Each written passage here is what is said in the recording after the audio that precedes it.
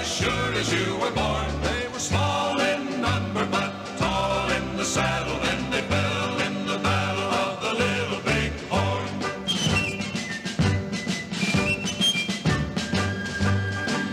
A Major Custer was tough and respected by the Indians because in his day he had polished off a few. But when his 200 men tackled 20,000 Indians, well, that was the day when he met his Waterloo.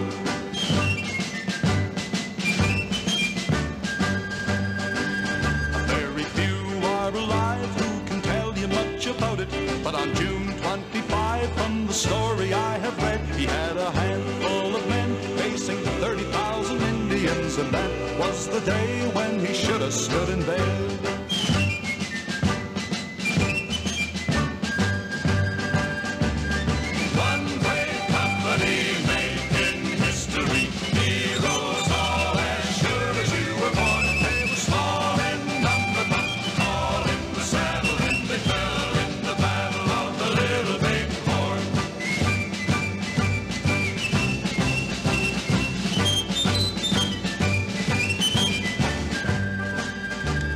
C thought that he ought to be the chief executive for what he had done. He deserved to take a bow. But when he met Sitting Bull and his 40,000 Indians, he said to himself, I guess I'll never make it now.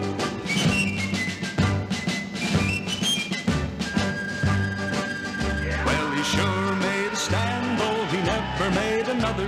And he yelled to his men, horses and advance. But when he saw on the ridge over 50,000